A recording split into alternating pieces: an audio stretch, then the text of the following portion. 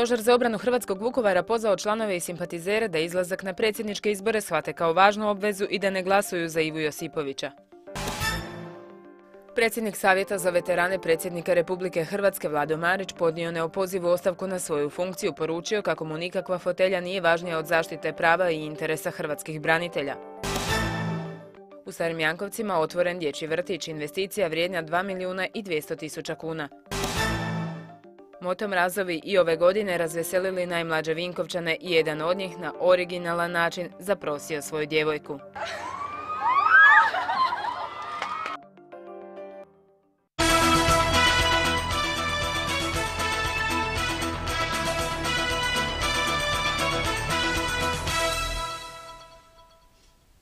Dobar vam večer u Dnevniku. Na području Županjske posavine završeni su radovi na 1060 poplavljenih kuća, na području Vrbanje i Drenovaca obnovljene su 432 kuće, a na području Gunje 628, izvijestilo je Ministarstvo graditeljstva i prostornog uređenja.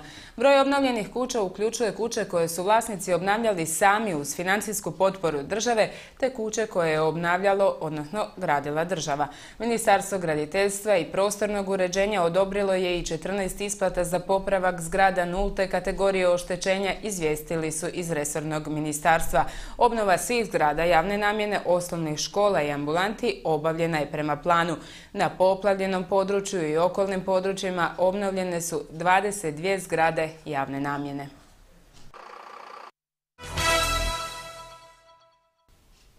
U Vukovaru u ulici Rudolfa Perešina oko 13 sati došlo je do verbalnog, a potom i fizičkog sukoba desetak maloljetnih osoba. U sukobu su tri osobe ozlijeđene te im je u općoj županijskoj bolnici u Vukovaru ukazana liječnička pomoć. Okolnosti i uzroci koji su doveli do ovog događaja su predmet daljnjeg kriminalističkog istraživanja a i u nastavku iz Vukovara gdje su članovi Stožera za obranu Hrvatskog Vukovara predstavili svoje stavove o nadolazećim predsjedničkim izborima. Ispisanim porukama stožeraši su dali do znanja za koga oni neće glasati. Promatranjem izborne kampanje, kažu, potvrdile su se postavke o iznimnom značaju nadolazećih predsjedničkih izbora za budućnost i opstanak Hrvatske. Pod krinkom demokracije Predsjednički kandidat Ivo Josipović kao ideološki kandidat uske skupine društva želi javnosti podmestiti retrogradne, totalitarne i trule temelje države tajnovitim ustavnim promjenama. Na drugoj su strani, kaže Josić, kandidati koji svojom retorikom i programom žele biti nacionalni kandidati. Kome će stožeraši dati svoj glas nije upitno. Od svih nacionalnih kandidata jedino je gospođa Kolinda Grabar-Kitarović na osobni zahtjev održala dva sastanka sa izaslanstvom Stožera za obranu Hrvatskog Vukovara, detaljno analizirajući problematiku hrvatskog društva u cjelini. Prema Josićevim riječima, teme razgovora bile su dužničko ropstvo građana, depopulacija Hrvatske, problematika hrvatskih dragovoljaca, branitelja i stradalnika domovinskog rata i projekt Vukovar mjesto posebnog pijeteta. Stožeraši su, među ostalim, pripadnike i simpatizere stožera pozvali da ne podlegnu jeftinim medijskim trikovima i tezama da se ništa ne može promijeniti izlaskom na izbore da masovno iziđu na izbore i glasuju po svojoj savjesti, uvažavajući činjenice, a izbjegavajući opasne medijske pokušaje ubijanje nade u Hrvatskoj. I naravno, nemojte glasovati za Ivu Josipovića. A Ivu Josipovića napustio je predsjednik Savjeta za veterane. Nikakva fotelja u uredu predsjednika kao primjerice nekima u Ministarstvu branitelja nije mi važnija od zaštite prava i interesa hrvatskih branitelja koji su bili i ostaće svetinja i najčvršći temelj Republike Hrvatske. Poručuje to Vlado Marić dojučerašnji predsjednik Savjeta za veterane predsjednika Republike Hrvatske koji je samo nekoliko dana do predsjedničkih izbora podnio neopozivu ostavku na svoju funkciju. Vladu Marića uključujemo telefonom u dnevnik. Dobra vam večer, čujemo li se? Dobra večer i pozdrav prijateljima Vinkovačke televizije. Evo uvodno smo naveli dio iz vaše ostavke. Možete li evo za dnevnik Vinkovačke televizije konkretno reći što je presudilo ovakvoj odluci? Pa ne bi išao u detalje, ali presudilo je u svakom slučaju taj odnos prema hrvatskim braniteljima u Savskoj prije svega, a i u cijelini. Znači uopće hrvatski branitelji nisu vrednovani i poštovani kako bi to trebalo biti od strane institucije. ne samo ureda predsjednika, nego i drugih institucija. Jednostavno ja sam svojim, svojim, svojim moralnim činom htio ukazati da postoji problem, da moramo to pristupiti na puno kvalitetniji, odgovorniji način, jer to ti ljudi zavrijeđu, da ne možemo improvizirati i evo, vidjet ćemo kako će sve se odvijati dalje. Evo, dakle, smatrali ste u ova dva mjeseca koliko otprilike traju prosvjedi u Savskoj da je predsjednik trebao reagirati, odnosno nešto učiniti? Pa svi su mogli, i predsjednik Sabora i vlade, a pogotovo predsjednik vlade, premijer, znači koji se nije uopće tamo pojavio, mislim da su tri branitelja u pitanju dužnosti institucije reagirati, ali meni je osobno neshvatljivo da dva mjeseca su ljudi tamo, znači to nisu kao što neki vele samo dio od 500 tisuća branitelja, tamo je taj najelitniji dio hrvatskih ratnih veterana, tamo su tisuće ljudi koji dolaze, znači oni su zavrijedili određenu pozornost i pažnju i moralo se učiniti sve da se taj dio riješi. Pa da su oni i u krivu, to se moralo riješiti, a osobno mislim da nisu i da jednostavno mora se naći način da se to pitanje riješi, jer to je sramota i za hrvatske branitelje, nas ratne veterane, a isto tako i za hrvatsku državu u cjelini. Evo još samo ukratko u svojoj ostavci navodite kako ni u programu predsjednika sadašnjeg koji je novi kandidat za predsjedničke izbore e, ne vidite ništa u tom programu ponovno da bi bilo drugačije. A gledajte, nisam rekao da ne vidim ništa, ali to nije ono što zadovoljava potrebe hrvatskih branitelja i zato sam jednostavno reagirao da nema smisla moja daljnja suradnja u uredu predsjednika ako je to plan za sljedeći mandat. Evo gospodine Marić, hvala vam na ovom uključenju u Dnevnik Vinkovačke televizije. Ništa, hvala i vama, laku noć. Lijep pozdrav.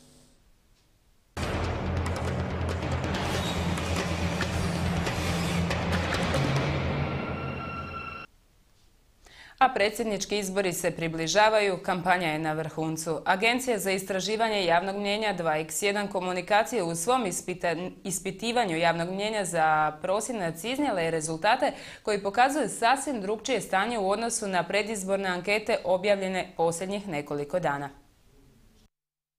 Standardno odudaranje od rezultata inih anketa očitava se već u prvo plasiranom predsjedničkom kandidatu, u ovom slučaju kandidatkinje HDZ-a Kolinde Grabar-Kitarović. Od 5000 ispitanih njih 2129, odnosno 42,58%, svoj glas daće Kolindi Grabar-Kitarović. U drugi krug predsjedničkih izbora ušao bi Ivo Josipović s podrškom od 40,48%. Treće plasirani Milan Kujundžić uživa podršku 12,9% ispitanih, a najmlađi kandidat Ivan Vilibor Sinčić 4,04%. 4%. Važno je doduše napomenuti dvije stvari koje su bitno utjecale na metodologiju ispitivanja, odnosno završni rezultat. Ispitanici koji su se izjasnili neodlučnima brisani su iz evidencije te se umjesto njih tražio sljedeći ispitanik koji ima jasan stav o kandidatima. Na taj način izbjegnuta je peta anketna opcija koja se na posljedku i ne može vidjeti na glasačkom listiću. Osim toga, istraživanje je zaključeno prije prvih televizijskih sučeljavanja kandidata, pa postoji mogućnost određenog odstupanja, naročito kada je riječ o zadnja dva kandidata koji iza sebe nemaju prejaku stranačku infrastrukturu. Ako se gleda sraz između dva kandidata s najvećom potporom, on je po administrativnoj podjeli Hrvatske sljedeće.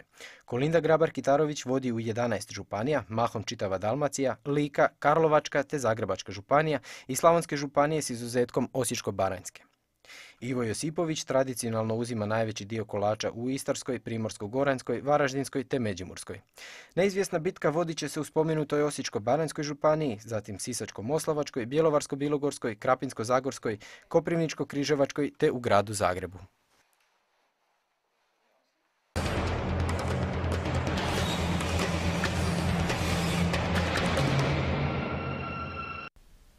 Detaljnije ovo ispitivanje možete pogledati i večeras u emisiji Nacionalno. Povodom 110. obljetnice osnutka Hrvatske seljačke stranke u Republici Hrvatskoj i 25. obljetnice osnutka HSS-a u Vinkovcima, članovi i simpatizeri te stranke, ali i gosti, okupili su se na svečanoj sjednici Županijskog odbora Hrvatske seljačke stranke Vukovarsko-Srijemske županije te gradske organizacije Vinkovci. 110 godina velika je obljetnica jedne stranke. Za članove te stranke to je i obveza, kako je istaknuto, da slijede put utemeljitelja braće Radić. A taj put HSS-ovci su ponovno zacrtali kada su se sastali kako bi obnovili rad stranke u Hrvatskoj državi. Prva stranka koja je osnovana u Vinkovcima, a s predznakom HSS-a, bio je HRSS koji je bio Vinko, sjedište mu su mu bili Vinkovci i u doba 90-ih do kraja 91. prve otprilike je brojio preko 350 članova na području cijele bivše općine Vinkovci. Danas Vinkovački HSS-ovci rade podijeljeni po ograncima, nastojeći biti iznimno aktivni u političkom životu grada i županije. Stranka su centra. U Vinkovcima politički život vode u koaliciji s HDZ-om. Članovi HSS-a participiraju u vlasti kako na razini županije, tako i grada. Planovi Vinkovačkih HSS-ovaca za iduće razdoblje odnose se prije svega na omasovljenje stranke povećati broj članova, podmladiti broj članova jer mi smo imali e, jedan problem da smo imali puno starih članova koji su u zadnjih deseta godina i pomrli i prestari su za aktivno sudjelovanje, te njih više ne brojimo kao aktivne članove nego kao simpatizere, odnosno članove HSS-a.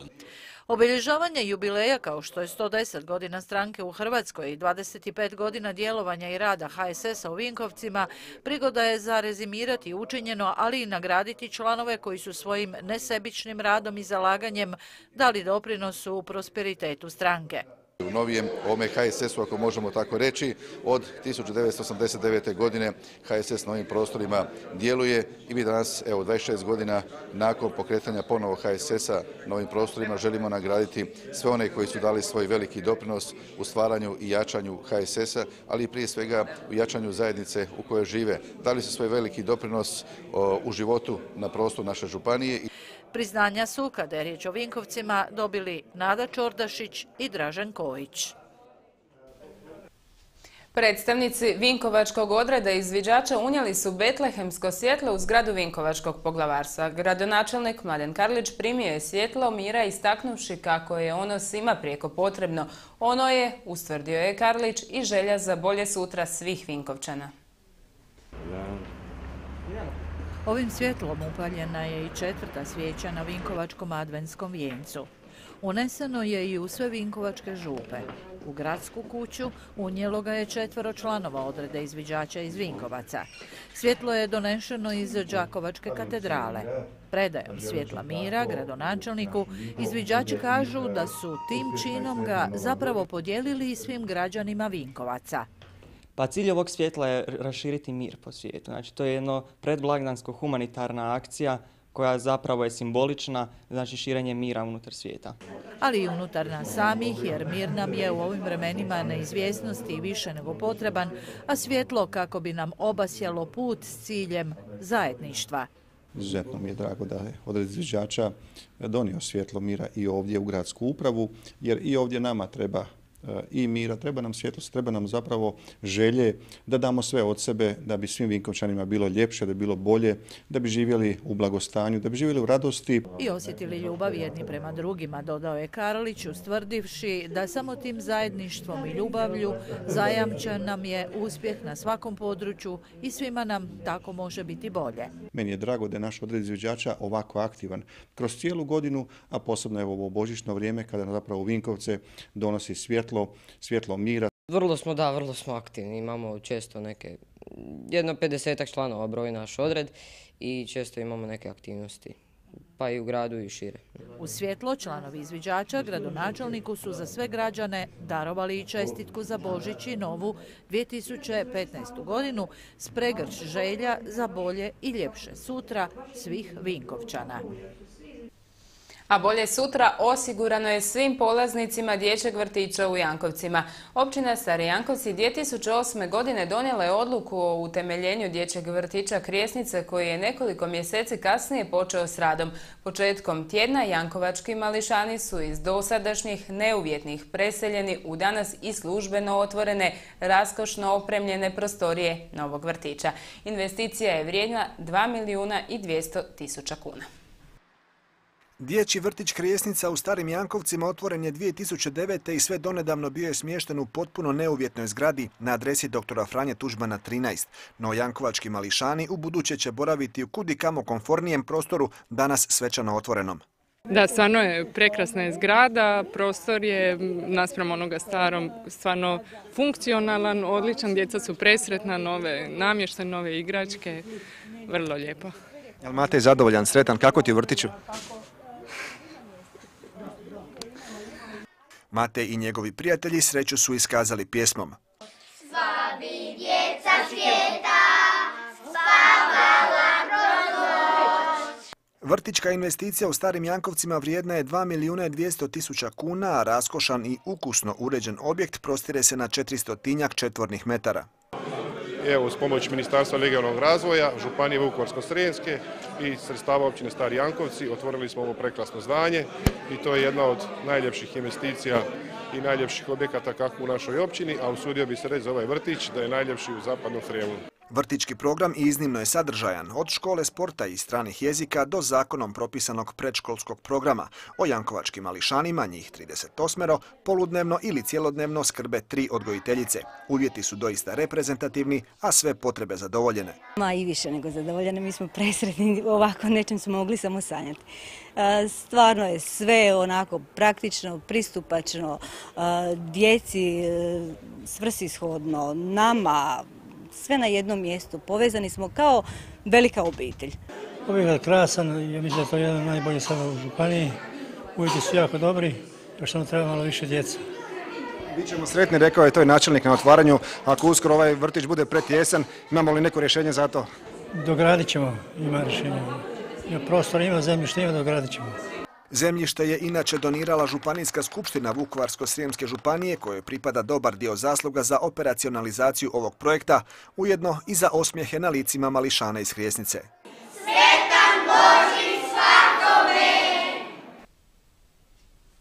I ove godine djedice u crvenom s bijelim bradama sjeli su na svoje ljubimce i obišli Vinkovačke mališane. Riječ je naravno o motom razovima koji ne propuštaju u blagdansko vrijeme kako bi darivali najmlađe sugrađane i ove godine razveselili su ih poklon paketićima sa slatkišima. Akciju su podržali kao i svih dosadašnjih godina i u gradu Vinkovcima. Stoga odlazak na put darivanja nije mogao proći bez pozdrava motom razova i Vinkovačkog gradonačelnika koji im je poželio lijep provod i čestitao na dolazeće blagdane. Prije odlaska na put darivanja, motom razovi su se malo okrijepili. Vidno raspoloženi i sretni što i ove godine, kao osam godina do sada, mogu provesti sada već tradicionalnu akciju darivanja vinkovačkih mališana, čekali su znak za pokret. Među motom razovima bio je i vinkovački gradonačelnik. Došao je pozdraviti ih i na taj način samo još jednom potvrditi da je sve što rade motom razovi vrijedno pozornosti. Nije propustio naglasiti kako su članovi motokluba Vinkovci aktivni tijekom cijele godine i vrlo humani nastojeći pomoći ljudima u potrebi. Ovo vrijeme je vrijeme radosti, e, zajedništva, pa evo ovo je jedan lijep primjer zapravo i njihovog zajedništva, dobrog rada, ali evo i onda pomoći, odnosno e, darivanja drugih. A odredišta i ove godine bili su dječji vrtići, dom Svetana, centar za rehabilitaciju Mala Terezija. Podijeljeno je oko 150 poklon paketića. Neki vrtić će jednostavno dobiti 10, neki će dobiti 12, neki 8 paketića. Paketići su onako bogati što se kaže. Osjećaj kada vas dočekaju mališani i već pogledom zahvali prije svega što nisu zaboravljeni, a onda i darivani, posebni su. Veselo i slikaju se, sjedaju na motore i tako. Ne možeš otići, ali nek, nama je drago da je to tako. Budući da je trebalo obići mnoge adrese, motom razovi se u domu Svetana nisu dugo zadržavali. Bitno je da su na radost štićenika doma svoju misiju odradili. I tako će i dogodine, jer to je zadaća koju su si zadali. A dok je dobrih ljudi koji ih podupiru i grada, nema razloga da je i ne održe. Motomraz se ženi. Tako bismo mogli nasloviti sljedeću priču. O čemu je riječ i što su vinkovački motomrazovi napravili osim darivanja malih vinkovčana, pogledajte u nastavku. Bučni i brzi kao i uvijek Vinkovački motom razovi stigli su pred zdravstvenu i veterinarsku školu u Vinkovcima.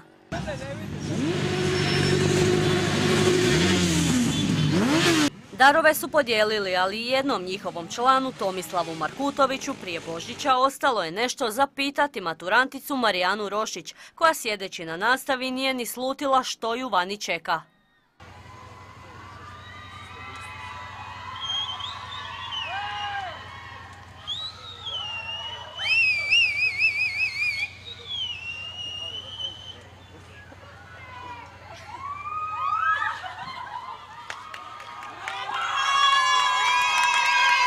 Marijana je rekla da. Tomislav Praćan velikim pljeskom okupljenih kolega, učenika škole i motom razova uz nezaobilazne zvukove turiranja, budućoj je supruzi stavio zaručnički prsten.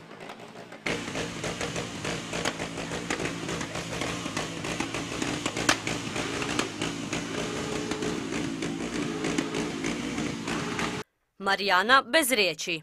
Najbolji poklon za Božić. Da. Kakvi su dojmovi? Ne mogu pričati, tresem se. Hrabri 21-godišnji budući mladoženja bio je smiren. Početak je bio ko, ko svaki puta, vidjeli smo se u gradu, jednostavno iskrice su kočale i to je bilo to. Prošle godine sam živio u Vinkovcima i ošao sam u Njemačku radi posla i ostalog. A evo, sad nadam se, posložio sam kockice tamo i želio sam onda to sve nekako zapečatiti. I zapečatio je s Marijaninim da. Odmah su pale i prve čestitke prije svega od obitelji koja je znala za cijeli tajni plan, uspješno proveden zahvaljujući motom razovima članovima Vinkovačkog motokluba. Među njima su i roditelji budućeg mladoženje. Danas mi je sin zaručio svoju dugogodišnju djevojku, jako sam sretna. Naime, mi smo članovi motokluba Vinkovci i oni su nam pomogli da realiziramo danas ovaj događaj.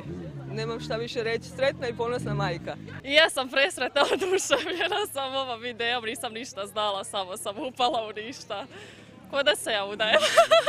Budući mladenci kažu neće žuriti, svatove možemo očekivati za dvije godine. Puno čestitki, sve najljepše vama dvojima i od Vinkovačke televizije. Hvala i vama poštovani gledatelji. Dnevnik je gotov. Ostanite i dalje uz Vinkovačku televiziju. U 20 sati u nacionalnom gostuje Stevo Culej. Hvala vam za pozornost i doviđenja.